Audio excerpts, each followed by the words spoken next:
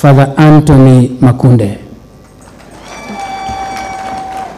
And I introduce to you the Vice Chancellor of the Catholic University of Eastern Africa, Father Stephen Mbugua.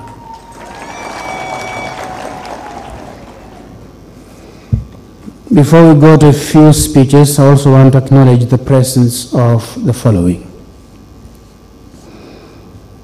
I would like to acknowledge and appreciate the presence of our former president, His Excellency Uhuru Muigai Kenyatta. Thank you very much. I acknowledge and appreciate the presence of the Speaker of the National Assembly, Honorable Moses Wetangula.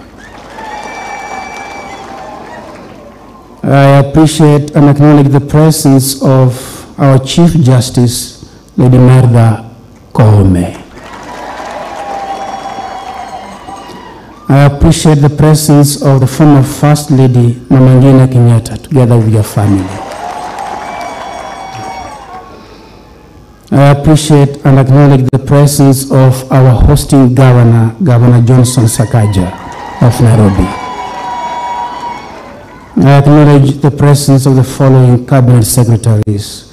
Honorable Moses Kuria and Honorable Susan Nakhumicha. I also acknowledge the presence of the Secretary of the Cabinet, Madam Mercy Wanjau. Thank you very much. I acknowledge the presence of the former CS and National Security Advisor to the President, Ambassador Monica Juma. Thank you very much. I acknowledge the presence of the Principal Secretary for Correctional Services, Dr. Sally Beako. Thank you very much. I acknowledge the presence of the following members of Parliament. Honorable Edwin Sifuna, Senator for Nairobi.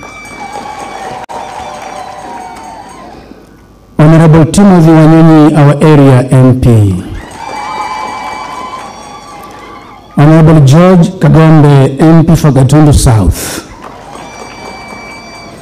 Honorable Beatrice Elachi, MP for Dagoretti North.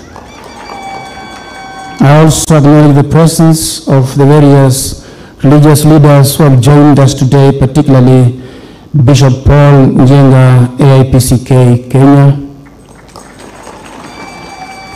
Bishop Josephat Kamanya, AIPCA as well, and